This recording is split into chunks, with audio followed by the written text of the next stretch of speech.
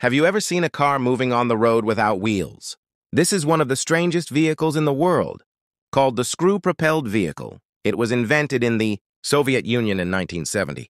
The most unique feature of this vehicle is that, unlike traditional tractor-wheeled vehicles, it has two large rotating screw drums that generate forward propulsion through their rotation. This design allows the vehicle to easily make sharp turns or move sideways. What's more, it can travel effortlessly over grass, snow, water, sand, and even swamps as if gliding over flat terrain. Its top speed on snow can reach up to 30 miles per hour, and even in swamps, it can manage a respectable 15 miles per hour.